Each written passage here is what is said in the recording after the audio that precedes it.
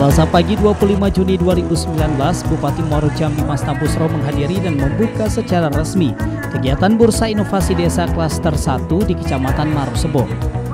Kegiatan ini diikuti oleh camat, kepala desa, serta pendamping desa dari empat kecamatan, yaitu Kecamatan Sekernan, Jambi Luar Kota, Marosebo, dan Mestong.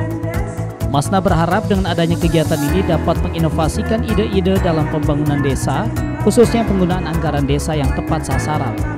Pembukaan Bursa Inovasi Desa Klaster 1 turut dihadiri Forkopimda dan jajaran OPD Lingkup Setda Kabupaten Muaro Jambi. Dalam sambutannya, Bupati Masna sangat berharap kepada seluruh kepala desa dan juga pendamping untuk terus berinovasi dalam membangun desa.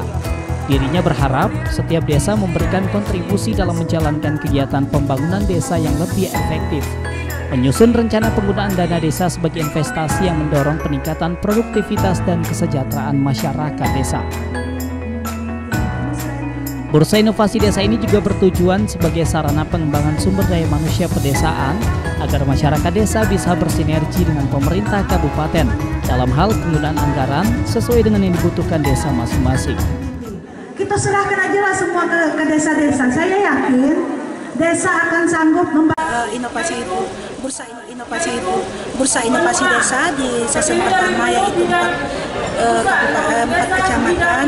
Yang mana ini adalah mendorong dan uh, memberikan pengetahuan kepada para kades-kades supaya ke depan lebih berinovasi, berinovatif untuk membangun desa masing-masing dengan dana desa yang ada. Dan ini kita Pemda Moro Jambi selalu mendukung, mendorong Jambi TV.